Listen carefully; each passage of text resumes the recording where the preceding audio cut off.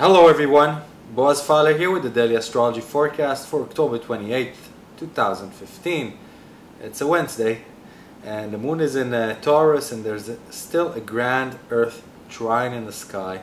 Beautiful grand earth trine that really makes us feel a lot more tranquil and a lot more in our place and in our element than we did during the past few days.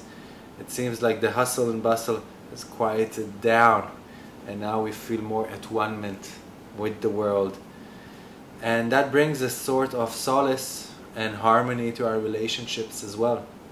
This is a great day to build bridges of affection and warmth uh, in relationships that have been a bit turbulent or hurtful during the past couple of weeks and mend those broken bridges other than that, and that would give you a good perspective to what we should be doing these days, there is an opposition between uh, Jupiter and Chiron these days.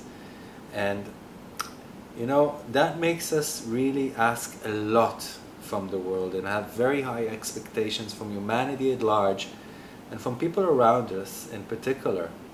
And what we should be really doing is stop concentrating on the neighbor's grass and start looking at our own lawn and really turn our attention inside, acknowledging our own faults, our own value, and doing some inner work.